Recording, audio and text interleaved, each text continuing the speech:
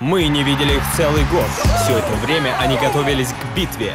К битве за честь своих учебных заведений. Кто справится с этой задачей? Только отличные студенты.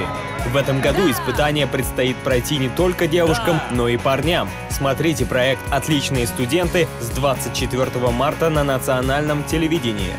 Партнеры проекта – Чувашский государственный педагогический университет имени Ивана Яковлева, Чувашский государственный университет имени Ульянова, Чебоксарский филиал Российской академии народного хозяйства и государственной службы при президенте РФ, Волжский филиал Московского автомобильно-дорожного государственного технического университета, Чебоксарский медицинский колледж. Участники проекта